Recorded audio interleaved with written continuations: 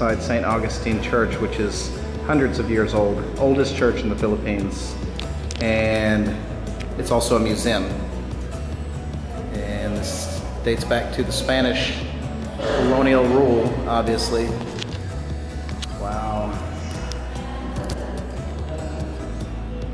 Lots of cool stuff.